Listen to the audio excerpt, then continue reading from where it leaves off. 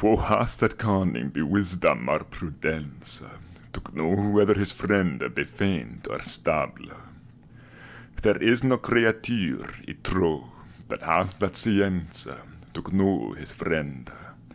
The world is so mutable, and friendship is double and very deceivable. The mouth saith one, the heart thinketh another. Alas to say, it is full lamentable, when a man who may trust his own brother.